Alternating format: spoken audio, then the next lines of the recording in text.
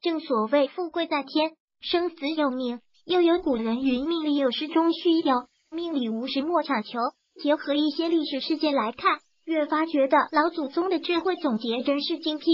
陈胜大泽乡起义的时候说过一句：“王侯将相宁有种乎？”这话说的不错。某些时候，王侯将相的爵位的确需要靠自己去争取，大历史的结局告诉后人，陈胜等人即便争取也没有用，最终争雄的是刘邦、项羽。而称帝的是刘邦，这就是你想到了，却没有那个命。中国古代帝王有成百上千位，别以为他们登上了帝王之位就可以享受荣华富贵了。就如同本文的主角，这家伙当了帝王，而且在战场上可谓是战无不胜，还掠夺了无数敌人的财宝。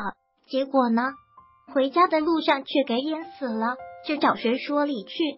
刘邦、项羽剧照在咱们后世之人看来。古代的帝王们都有享之不尽的荣华富贵，尤其是对于那些继位登基的帝王来说，他们的人生简直就是赢在了起跑线上，甚至可以说，他们的起点是绝大多数人一辈子都难以企及的终点。因此，对他们难免会各种羡慕、嫉妒、恨。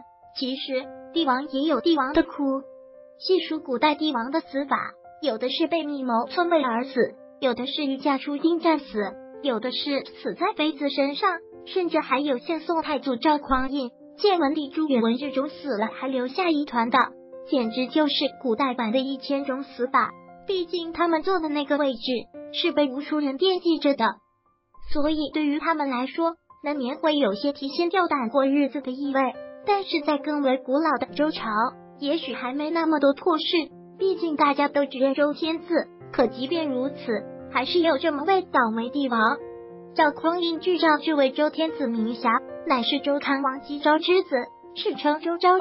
在一些出土的青铜器铭文中，也有称呼其为商王的。无论怎么称呼，这位帝王都应该算是一位合格的一国之主了。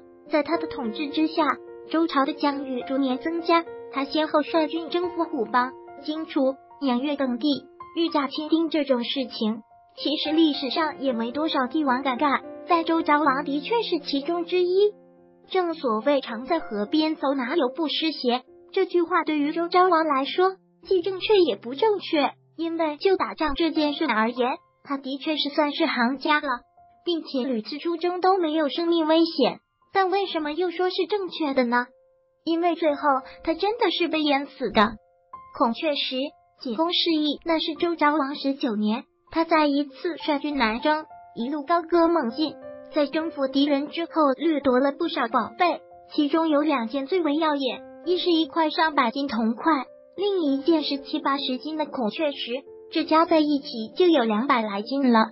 那时候的桥梁可不像现在都有钢架骨骼，扶输宝贝的车上，除了宝贝外还坐了人，总共数百斤的重量压在渡汉水的桥上，直接压垮了桥。周昭王没死在战场上，却在得胜归来之时翻了车。